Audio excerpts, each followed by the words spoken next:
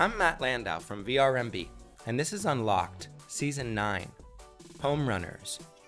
Today's episode features Matt Durrette, who runs Cozi Vacation Rentals in Fredericksburg, Texas, aka Texas Wine Country, with his wife Jenna, who used to design gear at Under Armour and now designs vacation rentals.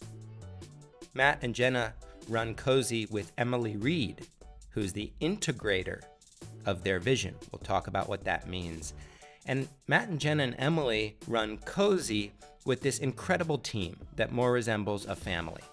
And this family's market has blown up over the last decade, but really accelerated post pandemic in such a way that Cozi has grown to more than 300 properties.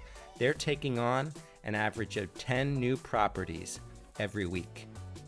In its early days when raising money, a specialist referred to Amazon as the quintessential wave rider. And I now use this phrase to describe certain home runners like Matt who are positioned thanks to a combination of hard work and vision, sure, but also sheer timing. They're positioned to be the biggest winners as our industry evolves. But you do not have to be big like Matt to be a quintessential wave rider. In fact, today's conversation covers limited edition positioning, entrepreneurial operating system, one of Matt's big game changers, his tech fluency, and his hospitality style. These are all things that you can do no matter your size. In fact, probably the smaller, the better. We also spend quite a bit of time talking about the biggest threat that Matt nor other quintessential wave riders would have never planned on, but are now actually primordial to their survival. Today's episode is brought to you by PointCentral, the leaders in smart home automation, and Breezeway, a property care and operations platform. And as with every episode this season, we kick off by asking Matt, what does the phrase home runners mean to you? So the phrase home runners means to me, as it relates to the short term rental industry, is a, a collective group of individuals that are clearly knocking it out of the park in their destinations in which they operate in. Uh, I think we're all so unique, but we all still do the same thing, right? We're still renting out homes, apartments, condos, timeshares, townhomes, villas, you name it. But we all have some sort of secret sauce that is making us so successful um, as independent operators. And that secret sauce to me is really what makes someone a home runner. Um, and they and we all have it. And uh, I think in our industry that those are the true home runners. And you look in every single destination market, there are key home runners in that market who are are really just doing things uniquely and really have a unique value proposition where they truly are taking care of the the homeowners and the and their customers, their guests, and their employees. Um, and uh, it, it's pretty fascinating to watch. That that would be my definition. So, talk to me about your special sauce. How would you describe that to someone? I think our special sauce really comes down to our people. Uh, for the longest time, I tried doing everything myself, and I think that that had a lot of value addedness in terms of you know learning every single tool, um, understanding the industry inside and out. But if you're really going to build something special, you have to build a phenomenal team that is going to allow you to service you know, your customers, your guests, and your homeowners. And that really, I would say, is our secret sauce. When you when you really look at our team and how we've built that out and the size of our team and this unique roles that touch every pain point of our business, that that would be our true secret sauce. And how do you? So I think um, everybody wants to have a special sauce in which the team is the difference maker. What have you learned along the way is the secret to building that team? Because hiring the right people and keeping them engaged and motivated and passionate is hard. It's it's extremely hard and that's been one of the things that I have learned the, the, the true hard way over the last almost 10 years of doing this. Made up my, my mind about three years ago that we were going to stop being a reactionary business um, and we were going to work towards being a proactive business, implement new operating systems, and get the right people. And going down this path, it truly has been from our, our, our starting of the EOS entrepreneurial operating system. We went down this path almost two years ago, deciding that we were going to do it. We've been implementing it for the last year, and it allows you truly to instill accountability and operating system across your enterprise where it puts the right people in the right seats and it everyone is on the same page the entire time you going to the to the company's mission. But it's really key during this to find the you know finding the right people right seats. A lot of that is changing how we hire you know using agencies like better talent using predictive index culture index uh, it's pretty fascinating what a culture index or predictive index will really tell you about the scientific operations of how someone really operates and thinks and their personality. What's like an example that you learned about someone you wouldn't have known previously? So, someone that I wouldn't have known previously, let's see. Um, I would know, for instance, as even even myself, uh, taking my taking the culture index myself, I'm what's called a daredevil. I just drive, drive, drive, go, go, go. And I figure it out along the way. I didn't realize I, I was doing it. Right. And I keep just growing, growing, growing, growing. And my assumption is always that the road will always be there. And somehow it always is. But when I look back, I wasn't paving the road. I needed someone that could actually help me pave that road, who can integrate what I'm growing. And that was one of the key pieces missing was I kept growing this thing, but we we there was no path laid out for us. We were figuring out, and that's that's it was kind of fascinating even reading it myself. Like, yep, that is uh, that's spot on who I am, um, and it really teaches you, you know, where you're lacking and kind of what your personal weaknesses are, and that and that's okay. Everyone has weaknesses, but it allows you to know the right people you need on your team. I think that would be a good example. So, when you learned that you were a daredevil, did you look at yourself in the mirror the next morning and say, I am a daredevil? No, I, I looked in the mirror the next morning and said, We've we've got a, a big problem if we continue down this path. Uh, because I'm not setting my team up for success operating a business where we're putting growth over process. And that's that's really what I looked at the mirror was we we've got to get this right um, and you know, a lot more failures will come with that, but we have got to redo this entire company from from the top down. Um, and I I was not doing our business justice by trying to sit in the operations seat. And I want to talk about uh, EOS a little bit later. I want to talk about your integrator, who has changed the face of your business as well. Uh, but really, I want to talk about that moment in which you realize we're going down the wrong path. I've got to change. And you said your moment uh, was in determining you didn't want to be reactive, you wanted to be proactive. But I think it's just the moment period of recognizing that change is happening and I need to make a decision. More broadly speaking, you're you seem very decisive in those kinds of in that kind of face of change. And I'm curious, what was the moment in which you decided to shift your focus from Baltimore, which is where I first knew you to be a vacation rental professional, to this new region uh, in Fredericksburg outside of Austin?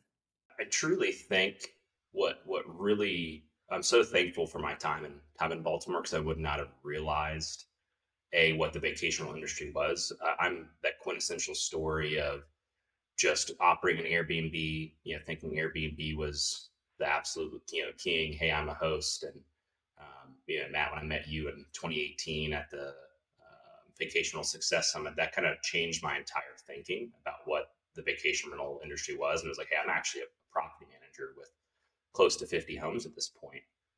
And the move to, to Austin was, uh, you know, to the to Texas was to be with my wife's my wife's family and we built out all the right systems in Baltimore to keep you know running that business healthily while I was still you know essentially running it from a kitchen counter uh, from Austin while my wife uh, was still working um, in the apparel and design industry, and we started slowly growing, you know, homes in Texas and and really looking at at the at the data was wow, this is a phenomenal market. Um, you know, you have Vacasa in this market, you have all these big operators, the revenues, the huge homes, and and how much demand there really was is kind of what really changed. Where hey, you know, I kind of want to add some homes here and slowly grow, but that wasn't where I, I was looking to truly build a company. And it was just I want to add homes and add homes. It really came down to revenue, and I loved not only hey the revenue's great, but also the people that we were kind of growing. But what really I think put me in that pressure mode, um, you know, when you're fa- when you're when you're put in adversity and stressful situations, I, I think human beings do a great job at actually really figuring it out. I think that's why we have that that that defense mechanism. And when I've been put back up into a corner, I've been able to usually work my way out of it, and it's not easy. Um, but when COVID happened, you know, in March of, of 2020, um, our business got flipped on its head. Within about three three months, we lost half of our portfolio um, in Baltimore um, and and up and down. We had homes up and down the East Coast as well, and in the little micro markets we were trying to expand into, and all the cash, you know, immediately started to dry up in terms of income coming in, and all we had were savings. Uh, that was the point where I knew we we had to do we had to do something. Um, that's when I immediately started the the cleaning company to provide for our cleaners in Fredericksburg, Texas. That were still out of. We had about 15 homes right at that moment. Um, you know, Baltimore again that dried up, but we did the cleaning for about two or three months, kind of monitoring the market because everything dried up. And then it was truly this wave of just growth in terms of guest demand, but also owners wanting to buy, wanting to look for management companies around June 2020. And that's when I, you know, I just put my head down and said, we're just going to add home after home after home. Because as you know, we also have, you know, our entire customer service and support and backing rolls team that's based out of Honduras. And those folks I had to provide for. Um, so I did nothing. I cut cut my entire pay for that whole year. And we put all of our investment, uh, every dollar we had to grow into Fredericksburg, Texas, in the Texas Hill Country. Um, and at that moment, I knew, you know, I wanted to run the company differently to truly build a brand new business that was going to survive, you know, through uh, any type of pandemic that really was going to be based around the team versus me being at the top, kind of making decisions and trying to run a business remotely. Um, that was really the key moment, though, was was COVID, and through those first three months of just probably the stressful, most stressful time of my life, trying to figure that out. Um, that's really what put me against the wall to know that we had to build something different and that in Texas, it really does come down to hospitality as more in the urban space. It wasn't about hospitality. It was, it was truly guests wanted to be in and out of those rentals, convention center, business travelers. Um, but Texas, the culture was different and we, we really needed to grow a brand new business to meet the customer and homeowner demand. How long did it take for you to buy your first pair of uh, cowboy boots? Luckily, my wife gifted me a pair of my first boots uh, in 2019 when we we got married in Dripping Spring, Texas, out of out of Austin. She actually gifted me uh, my first pair of boots for our wedding. Okay, so you were showing up to your meetings. You were showing up to your meetings like a local. Yes. Yep. Like a local. All right, and you breezed over something else I think is fascinating about your business. That's your Honduran staff. Um, for those who don't know, Matt basically built a, a, remote team that is able to handle a lot of the jobs, not all, but a lot of the jobs that otherwise he would need to be hiring locally. And I'm curious, Matt, do you think just anybody could pull this off, building a remote team like that? Or in hindsight, do you think it was your very special alignment of stars that made it happen? Anyone anyone right really could go and do that theoretically. Um, but this took so much time effort trial error failure. How you know how is this really going to work? Um, and you know I'm, I'm lucky enough to you know, my, my brother owns one of the top eco eco lodges in honduras so the connection was already there. Um, And, you know, I've been fortunate enough to travel to that country, you know, over, over 20, 20 times to experience the culture, understand the culture, and really have a lot of pride for that, that culture, that country. Um, it took took many years, and what people understand is our team down in Honduras has been with me the longest out of anyone.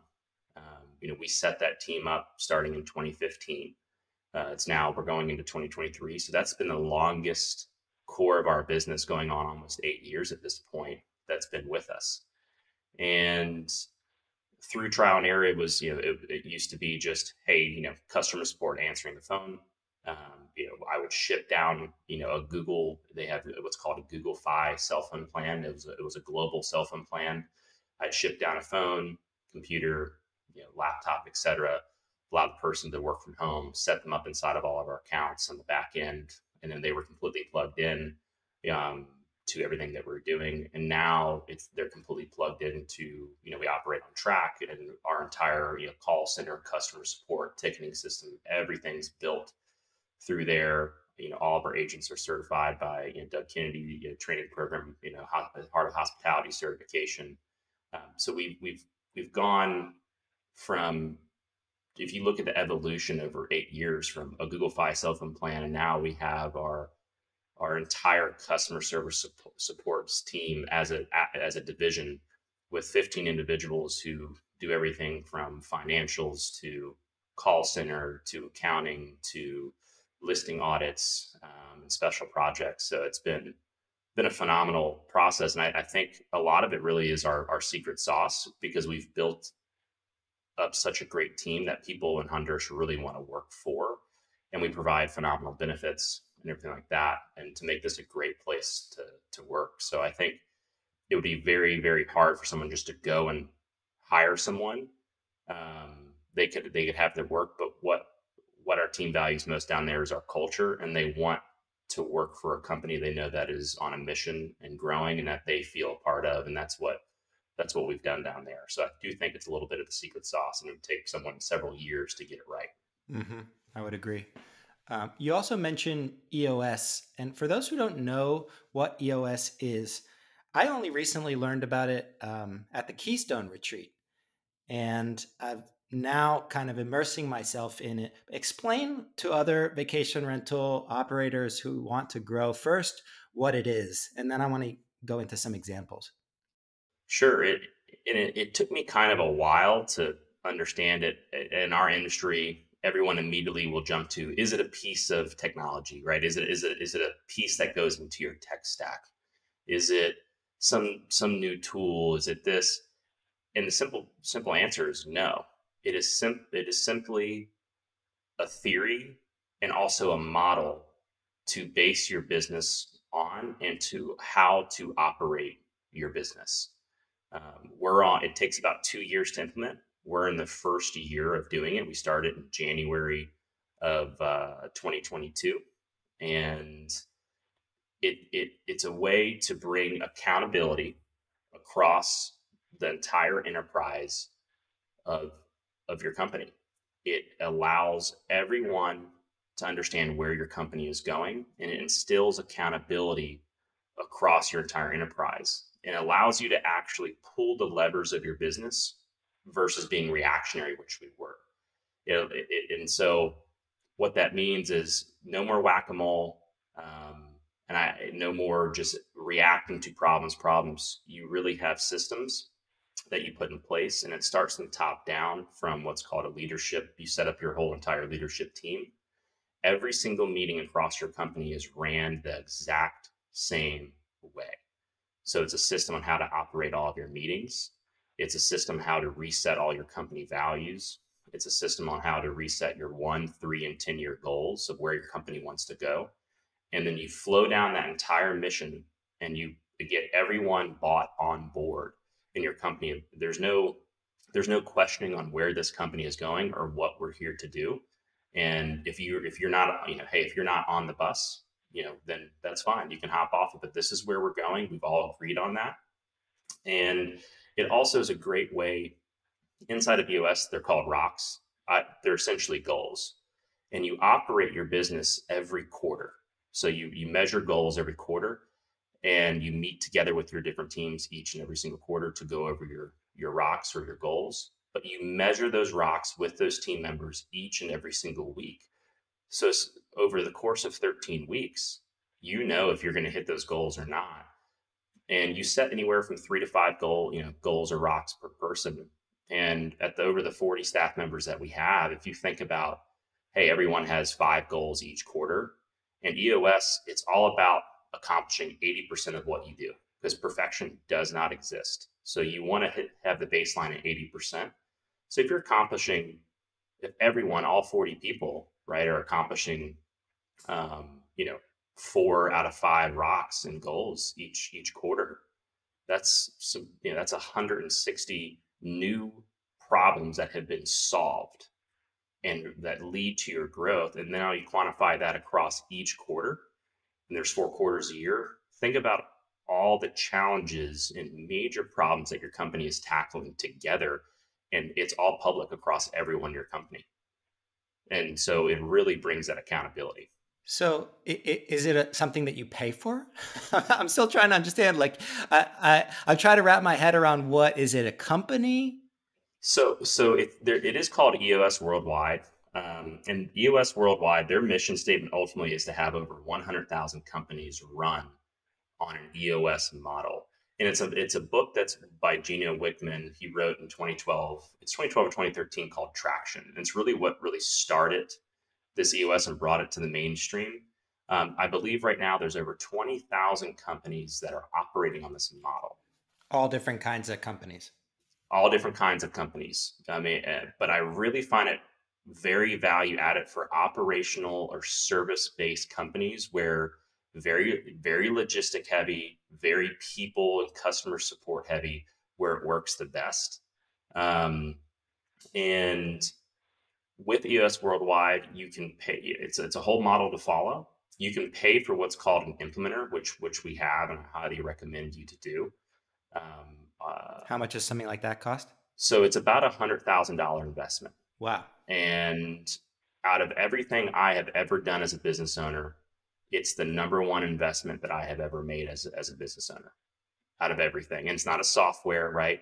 It's very hard to tie back to, to revenues and, and mapping it back and um, things like that. But our, our implementers out of Dallas, her name's Amy Johansson, and she has no experience prior to working with us in the vacation rental industry, but she has phenomenal experience of you know growing her company from six to seven figures and then to an exit, um, and running and leading uh, uh, you know her own company and now as an implementer.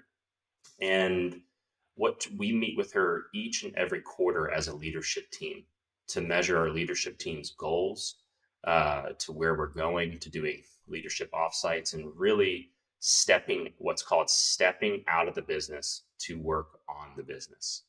And a lot of companies, you know, we were thinking about not hiring an implementer because it's it's very expensive and it's really hard to justify that cost. It's extremely hard. Um, it's seven thousand five hundred dollars per day that we need as a leadership team, and to justify that cost can be it can be expensive, right? So a lot of companies will try to self implement um, and to do it themselves to save but the problem is we can be our own worst enemies, right? If you put a whole leadership team together, our leadership team is eight people. Uh, and we've identified the key eight functions of what our business operates, the different divisions. But we're all operating in the business each and every single day. And when you come together, it's really easy to get off track. It's really easy to go, go down rabbit holes.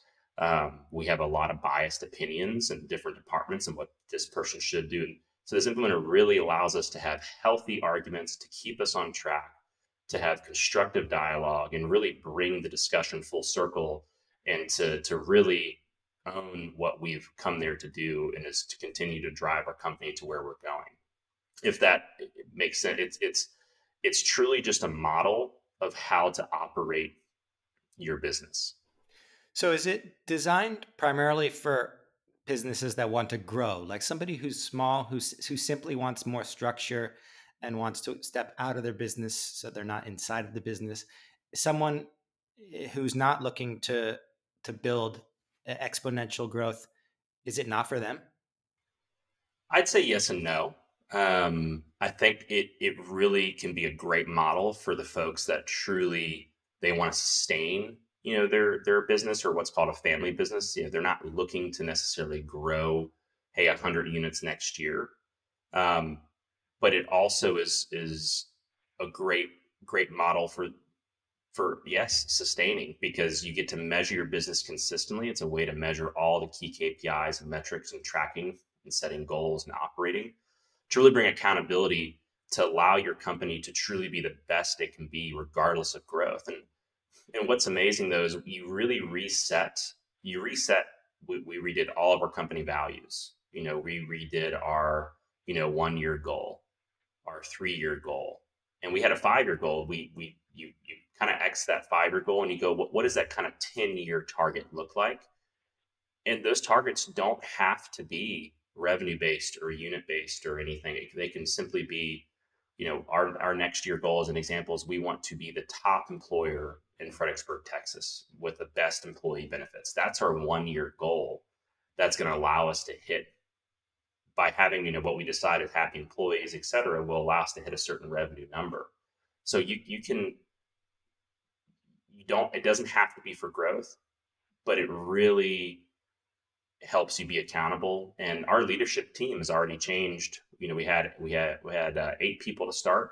We have four new people on the leadership team since starting because it allowed us to know that hey, those folks they were not the right fit with where we've all agreed to you know to go you know on this mission here at Cozi, and that it can be really uncomfortable, but it allowed me where we've come now. It was it was all the right moves, and and it really brings a lot of those those uh, variables to life that you need to make you know decisions and changes on.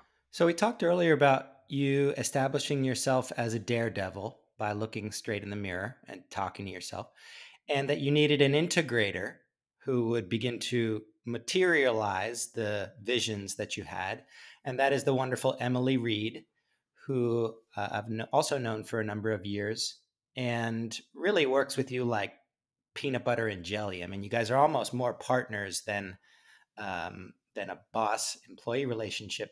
But one of the things I was talking with Emily about is how when you do choose to invest that amount of money, a lot of money that was not already on a, a budget, it wasn't part of the business plan. When you choose to invest that level of money in something in a deep process, it almost like forces you to to get your money's worth. A sense, like you you can't really escape it right? No, you, you can't. And uh, that's what I said earlier is when you're, you, you're not necessarily back in the corner, right? But it creates a bunch of stress that in a good way. It's great. I look at it as fantastic stress. I mean, I, I you know, call it growing stress. And uh, I think it really, it holds you accountable as well when you make that investment that there is no going back. We are we are doing this, and it's it's a calculated risk, but it's been the best one of the best risks that we that we've taken.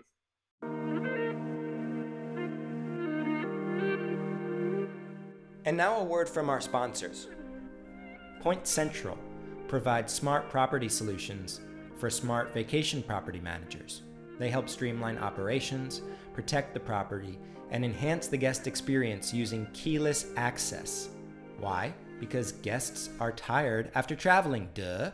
And being able to go directly to that property with keyless access instead of stopping at a manager's office, this is no longer a luxury. This is a standard practice. Plus, everybody loves avoiding extra trips due to lost keys, not to mention the constant cost of rekeying.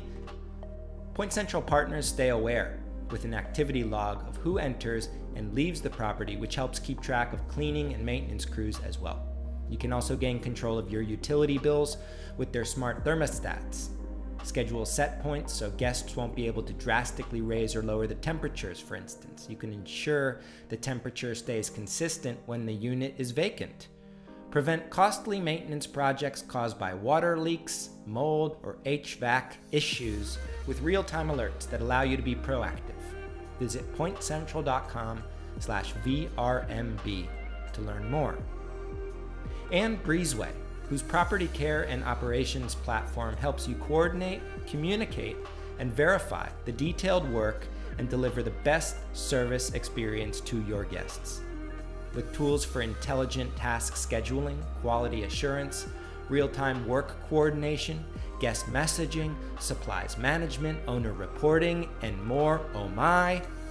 Breezeway helps thousands of short term rental managers and hospitality operators increase your operational efficiency and eliminate hours of manual work. This allows you to boost your service revenue. It was created by the founding team of Flipkey, which was since acquired by TripAdvisor, and Breezeway is just elevating the experience at every property they touch. Visit breezeway.io slash VRMB and get implementation fees waived. That's a $1,000 value right there. Okay, let's get back to the show. So, calculated risk, that's a really cool um, segue into this topic of regulation and advocacy. And from my years working um, with storytelling and, and to promote the best of what vacation rentals have to offer, I've basically concluded that unfair regulation is coming to every destination, uh, whether you like it or not. And I think there's destinations that are especially hot because of a variety of reasons. And in the case of Fredericksburg, wine country, I had the chance to visit you out there. It's just exploded in popularity. And it's not solely due to vacation rentals, it's due to all of these societal factors on the heels of COVID and spaciousness and the wine industry and all these things. So, how do you view regulation uh, perhaps removing your Cozi hat for a moment, as it relates to short term rental investment at scale? In Baltimore, there was some severe regulation that was coming through for the entire year of 2017. And I'm, I'm very fortunate to go through that process to really see how damaging regulation could be. I think it hit a lot of urban markets likely first, just from my experience. Um, but I really the amount of time that that took from from me and running my business to try to you know save the the industry there locally, et cetera. And we had you know the hammer crackdown on on no more new homes, no you know no no new permits. Um, everything was grandfathered in, but at you know if you were to sell your home in Baltimore, you could never transfer that license. So really, really damaging restrictions there locally, and we were very fortunate to uh, you know, still have a good chunk of homes in our portfolio. We're still able to grow through people who did have already licenses. But um, that did that taught me a lot um, of just city politics, how things you know are, are ran in terms of ag- advocacy level, and it taught me a lot about you know affordable housing, um, you know low housing vacancies and, and things like that, and all the different economic factors that really go into these decisions at the city level um, going into you know uh, Fredericksburg and investment. I think what's about Fredericksburg is that it is we're, we're lucky that it's a very small city limits, and most of the growth is act most of the growth is actually in the county. But for the last year and a half, you know, we've been going uh, constant city council meetings. There's been continued, um, you know, regulation changes uh, locally, and everyone said for for years regulation will never come to Fredericksburg. And for the first two years of operating there, that was the same, my same opinion. Oh, regulation is not going to come here. This is a tourist town. It's Texas. It's Texas, right? And boom, it came full speed. Um, and you want to talk about being at city council meetings from 5 to 12 p.m. every two weeks for a year straight, essentially. Um, you know, consistent you know changes from planning and zoning meetings to city council meetings to really try to shut the entire industry out of Fredericksburg and put you know and take away permits up to a certain extent. And then for some, you know, they were trying to implement sunsetting clauses to get rid of the entire industry here, and none of that passed, luckily. And um, you know, the the three page ordinance back in April of uh, 2022 this year went from three pages to 107 pages an, a short-term rental ordinance, and no one knows how to, you know, how to truly read that document. It's it's really up to interpretation, and it really not only it's drained the entire city here and their resources, but you know, luckily the industry can still grow, it can still operate, um, but it has put certain restrictions in um, that I do believe were needed in terms of guest occupancy levels and you know quality and, and following the permitting process and ensuring that homeowners are held accountable, you know, to, to be a, a, good neighbor to the community as well. Um, but it really not only impact obviously investment decisions. You've you've got to be very savvy on where you not only where you invest, but at the at the same time, Fredericksburg is still it has such you know such a tiny city limits that again most of that growth to your point is in the county where all the liners are going. That's where the tourism is going. Fredericksburg is still a tourist hub. But for people who do not think that regulation is coming your way you're you're in for a rude, rude awakening because it, it, it is. Um, and we we have felt that firsthand here you said that it came like a tidal wave or something like that. What were some of the first little indicators, the earliest glimmers? The, the I mean, how it came like a tidal wave was I'll never. I mean, this was back in I believe it was June of 2021, and the city announced they hired a brand new city development coordinator, and his first meeting was held at a community center, and the topic was short-term rentals and kind of uh, what what technology should we have to kind of control short-term rentals from noise monitors to taxation systems like avenue analytics and things like that? What clearly was much more than that they had not only members from the city council there people who were involved in the short-term rental process and you could see all the local people in the community who were you know outraged of this issue and outraged of short-term rentals were you there i was there sitting in the back. So you're seeing this all for the first time. For the first time, and I knew just from what happened in Baltimore, here we go again. Mm. And it just took, and was that was the week before the city council meeting, and then it boom right on that agenda on the city council was discuss and uh, you know discuss implementation of a brand new short-term rental ordinance and changes to the you know ordinance code and rezoning code. And there it just started like a tidal wave every single city council meeting for at least a, a year um, until changes were made in April of 20, uh, 2022 to the, to the current ordinance. And I had this really interesting conversation. Uh, do you remember that uh, driver that we hired to take me to the airport? Oh, yeah. Uh, the, the Zachary's pick him up rides. Yeah. Oh, my God. That guy's a talker. He's hilarious. uh, but we had a really interesting conversation about uh, because he's not in the short term rental industry. He is kind of in the tourism industry. He takes people around to the wineries.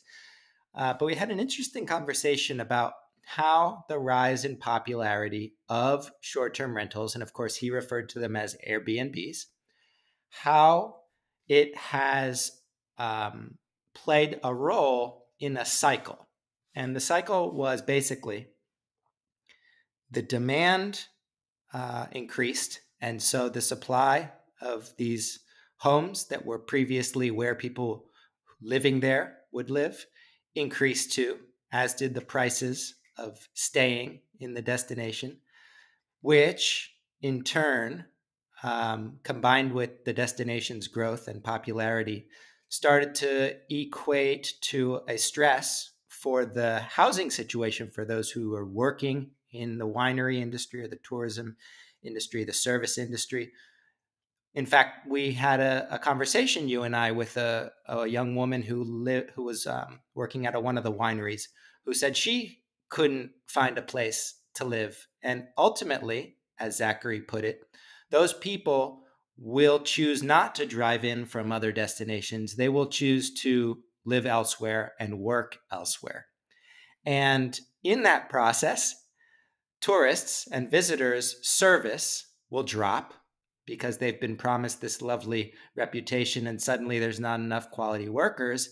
And the entire reputation of the destination suddenly sinks and it perhaps reverses a cycle. First of all, Is any of that too extreme, or do you agree mostly with those dynamics? I think it can be a little bit extreme. um, I, I, think it's a little bit. I do think it's a little bit extreme. I do agree. You know, certain folks w- will move out, right, because of of higher. You know, there's low housing vacancy, I means it's going to be higher prices. Number one, uh, it's going to be higher rent prices, per housing prices, purchase prices, etc.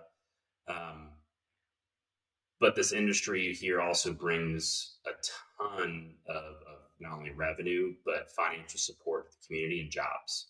Um, so I, I kind of disagree with that a little bit, um, but I, I, do agree uh, that it's it's a bigger effect than just short term rentals, um, in, in, my opinion. Um, that I would say the town here the major industry number one is tourism that employs over 2000 people. Uh, then you have the school system the hospital and i believe walmart is number four.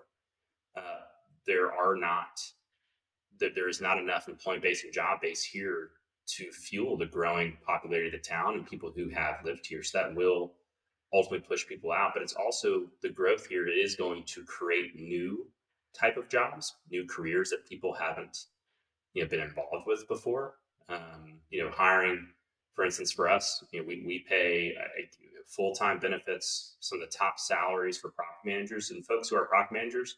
They didn't even know this was a kind of a role. This is not long term property management, right? And so we're developing new jobs and, and new roles, but you know the the biggest thing does come down to affordable housing is is an issue and it's an issue for us we have to pull folks in from kerrville and, and boerne and places like that that are nearby, uh, you know, major you know towns as well within a 30 mile radius.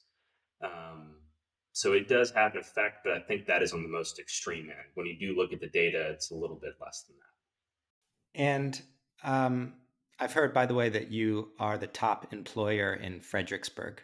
Just as a side note. That is that is we're we're working towards it, and that is a great thing to hear. And a lot, a lot of our staff would definitely, definitely say that. And uh, that's that's what we you know, we want to be one of the top employers locally. That that's the goal. One of the natural responses uh, across the country from anti short term rental um, advocates is these people don't live here. They're headquartered elsewhere and they're extracting from the community. And one other thing I think makes you really different, despite the fact that your part of your team may be located in another country, despite the fact uh, that your employees may be coming in from different destinations, and frankly, despite the fact that you um, didn't even live in Fredericksburg, right? Up until this past uh, yesterday or something. you just moved here? Literally moved here last Thursday. I've been commuting out of Austin since. So there's something about you showing up for these city council meetings years on end, sitting through all these conversations, listening. Do you think there's something about that physical presence that resolves things? I, the physical presence, I don't, I don't think people understand is is key. If you do not show up um, and speak and drive for change, then you will not have you will not be heard. If you think an email to your city council members and to the mayor is going to work, you're you're mistaken. Uh, it does have some effect, um, but being able to show up and speak with speak with facts is is key and really you know fight the legislation with pride and and talk about the number of jobs, what you do for the community, how you're all your even though we have the team out of Honduras, we still have over 40 people locally here in this community that that work for us and support this business. And um, it's it, it can be tiring, but if you don't show up, then what what will win is the negativity. Negativity and emotion I've learned wins more than data and facts.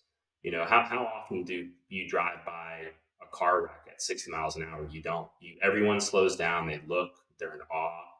But you could have the sunset on the very right side. You're still driving 60 miles an hour at the speed limit at the sunset. And my point is that negativity and emotion will always win and it slows down. People really examine that more than the data and facts of what's happening in, in, in the present moment.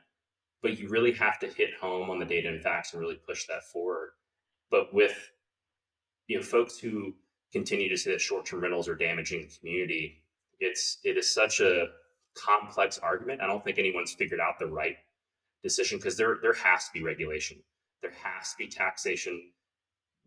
Let's get the bad actors and operators out of this business, and and let's go forward as a community together. But as an example, in Fredericksburg, I don't have the numbers right in front of me, but I believe it was seven. It was either seven million or nine million total generated in, ho- in hotel short-term rental occupancy taxes last year. Six million of which were generated by short-term rentals for the community. If you look at that, just that tax basis right there, and then on top of, if you drive down around the neighborhood, short-term rentals are the most up, upkept, beautiful. I mean, beautiful homes on the block. They're pristine, and you can see it. But then obviously that does lead to the argument of affordable housing, et cetera, and things like that. But we do do a lot for the community, and I think the entire industry with cities, we got to find what what is the fine balance, and no one's figured that out because I'm in agreement. There has to be regulation, but also there can't be regulation that puts people out of business and and prohibits and presses up against property rights at the same time. So, what is the fine line? And I, I, I don't have that answer, um, but putting in strict regulation that prohibits uh, people from renting out their own personal property and, and, and shuts down businesses isn't the right answer at the same time either. How much of this whole story do you think is people dealing with change, which is hard? I think that that's more than half. Um, for you know, as an example, this morning, I uh, was talking to your producer Stuart. I was trying to debate if I was going to hop on this this interview this morning or have to go to city council meeting to to speak. Um, and I was able to find um, our director of uh, owner relations to go on my my behalf. But that's even happening as we speak right now. More changes to the zoning code and things like that, and they move they move the meetings to times that are obviously very inconvenient for the, the for folks you know at 9 a.m on a tuesday majority of the community is working. And they have kids they're at work they can't just miss to come to city council meeting to have their voice heard. And what i have found is it's more the population that um, is either retired um, or um, that uh, uh, can show up or have the ability to show up, and that's that's typically the folks who don't like the change, and that's really all that's that's that I see that's being heard. Um, and the council members, they do a phenomenal job. We we we had a brand new city council voted um, in this past May, and they've all done a great job. But they're only hearing as much as they they can hear, and it's it's it's very hard when you know obviously our owners are all over Texas, et cetera, like that. We have a lot of local owners as well, but it's very hard to really have your side heard and it's hard to get your side in the room. Um, so, but it really does, it, it's, it does come down to change. And I obviously didn't grow up in Fredericksburg, but you hear all the time, even from our staff, how much the city has changed.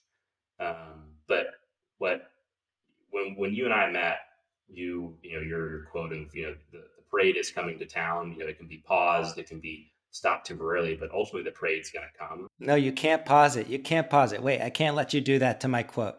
The quote is the quote is um, the parade, and this was a parade that I used to attend in Princeton, New Jersey.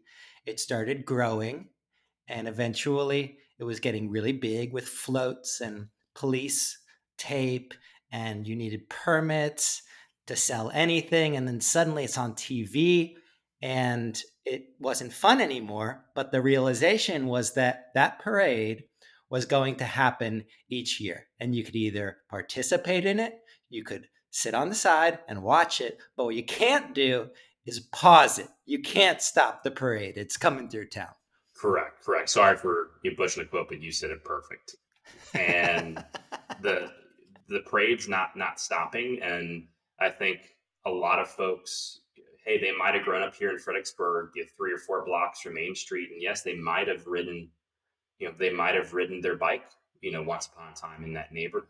Uh, but that's the the reality is is that's that's not where where we're at today, and um, there's tons of communities, especially in Gillespie County and Fredericksburg, where you know there's HOAs and things where you don't have to you know worry about any of that kind of stuff. But the reality is too is if you're riding a bike four blocks from Main Street today, it's probably not a good idea to have your kid. You know, where, where are you as the parent? I would argue in that situation because it's not not definitely a good idea. Um, but number one is the town has changed so much in the last 20 years that the most of those blocks have been moved over to historic districts and it's been all related to tourism and the town has has exploded and the, the you're not stopping that parade and so at this point how do we have a healthy change that everyone agrees with mm. and you can't get that if you're not part of the conversation correct correct and uh, what happened at the city council meeting about a month ago is they were trying to make some more severe changes, and that all got luckily squashed. But what the mayor, the new mayor in May, what he said, this is something that I even heard. I, and how all local politics work is pretty fascinating. But what was what came out of that city council meeting was a brand new task force created over the next 90 days with the mayor himself, uh, the head of our local short-term uh, rental alliance, um, another uh, local competitor company owner is on that. Another person who is on you know short has her own short term rentals on that task force. The head of a real estate like the texas real estate uh, uh, commission i believe or the hill country uh, real estate commissions on that. And then two other folks who completely want short term rentals you know gone are all actually coming together. Where i think it's a fascinating idea but it's just suddenly out of a brand new proposal that's going to happen and they're going to present their findings in you know in 90 days. So it's it's pretty fascinating watch because I've never heard that before, but I think it's a great idea bringing all of all the folks in the room to talk about what a healthy change looks like. But to your point, everyone now has a seat at the table from all angles of, of an opinion. So it is key um, to not only show up locally, but just because it's happening here in Fredericksburg tomorrow, you know, we operate in New Braunfels, Canyon Lake. Who's to say it's not just going to go there the next? And Matt, we had the chance to uh, hang out in uh, Nashville in August at our first ever Keystone retreat. And I'm curious just to sum up, you know, there's so many things to think about in being a responsible vacation rental professional. And so many of them are painful and at the surface layer and just right there in front of you.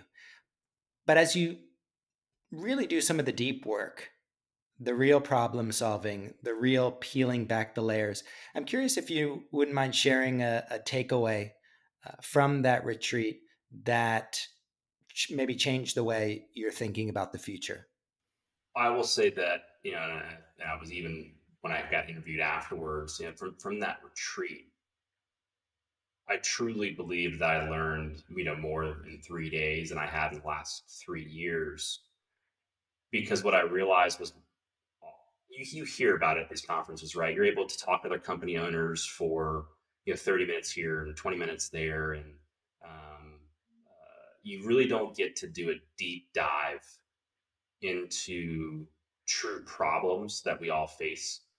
Um, uh, and yes, we're all in mastermind groups for an hour and things like that, but three full days at uh, you know at a farm offsite in a think tank what I really realize is that we are all one giant ecosystem together. We're very fragmented, but we all have some of the same you know dynamic problems across every single town and every single business. We might do things differently.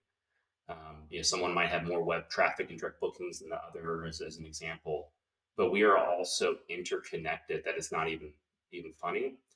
And for the health of the industry and where we're all going, it, it is critical that we all work together, even though we're always in markets, to share ideas and to grow this industry to a lesser fragmented point and you know, having it and really thinking about it. And you know, I got to give credit to Travis Wilburn um, of Stay Charlottesville. You know, he said it. You know, we don't know the industry's at a point where yes, you know where Vacasa and people might know of E Trips and some of the big other companies, but right now I don't know who the best vacation rental company is in Jackson Hole, Wyoming. I don't know when I go to Charlottesville who's the best vacation rental company. I think that's where I see the industry going is hopefully people understanding of some of the best operators and best you know businesses to stay that are all hopefully interconnected into the futures where I where I see it going. But we all have so much to offer as company owners, but it's very hard for us to share those ideas at, at conferences and to really stay connected uh, at a really deep discussion level. Beautiful. Do you have any wishes for um, the industry over the next year or predictions? I think it's we're we're going to have to you know tight, tighten our belts. Number one, to preserve the revenues that we do earn. I think in certain markets you're really going to find um, just lower lower occupancies, maybe not as much lower ADRs, but I was just on a mastermind group with Michelle Marquis of uh, Track Hospitality Solutions and about ten other company owners, and and it was the same theme across all of us, especially you know, for us here at Cozi Vacation Rentals in Fredericksburg, the majority of our unit growth has been from 2020, 2021, and 2022 when we all rode that high wave of just guest, you know, unprecedented guest demand and ADRs, you know, people coming, getting out of the cities of Austin and Dallas and Houston. And it was the same for a lot of us. And, you know, now that wave's over and a lot of people who bought at the very top of that market they're the ones who are suffering the most because now, hey, we're back to kind of a you know, the more mainstream of what Fredericksburg is in demand, where it's typically a Thursday through Sunday town. There's two different high seasons a year. There's there's slow points, but over the last two years, it really hasn't been that much of a slow point. So I think it really over the next year, we are one of our biggest priorities is education and transparency. Um, and education not only to our staff but to all of our owners. Um, and showing them the data showing the revenue showing what our forecasts are. I think that's the big big thing that people are going to be challenging over the course of the next year especially for like i said for the people who bought at the highs because there's only going to be so much revenue left over when someone bought at the top of the market when they're only let's just say they're left with 80% the management company is 20% typical homeowner cost so it's going to be an interesting year for a lot of those folks. And uh, you know, if I was those type of homeowners, I would love to not only have that education, but have that transparency, so I can be proactive in making my decisions. But I think management companies really just need a. It's it's it's pulling a lever. I think it's going to be by the month to see where this market is going. Um, if you know further recession comes and you know market drops, higher interest et cetera. But I think you've really got to get a grip on your business and really monitor you know, your, your company financials as well as monitoring rates in the market and really educating your homeowners.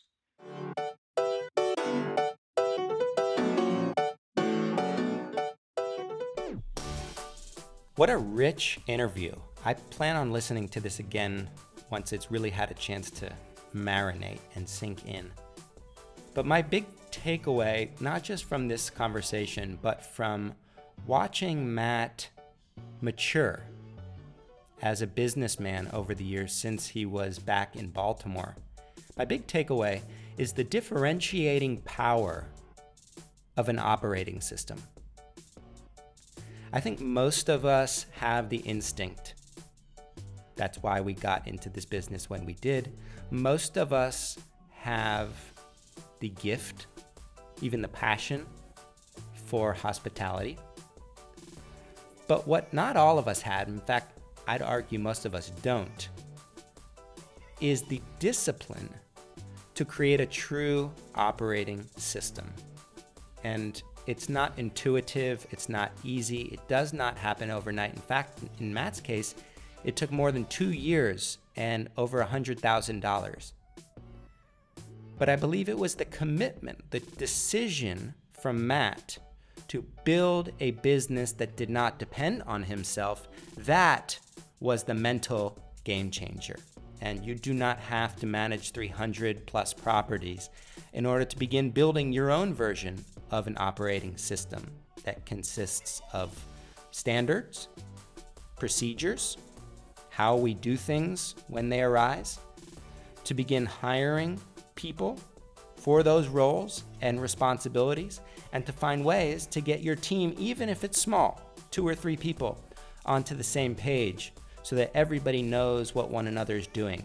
That discipline is not easy and it does not happen overnight, but it is the big differentiator. It is what makes a quintessential wave rider move.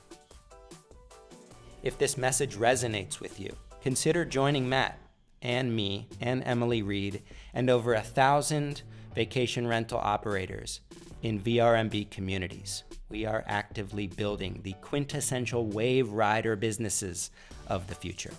You can join us at vrmb.com/join. And Matt also referenced our Keystone retreat.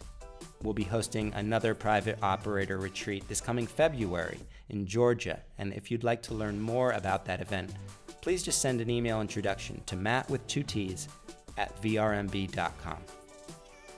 Until next time.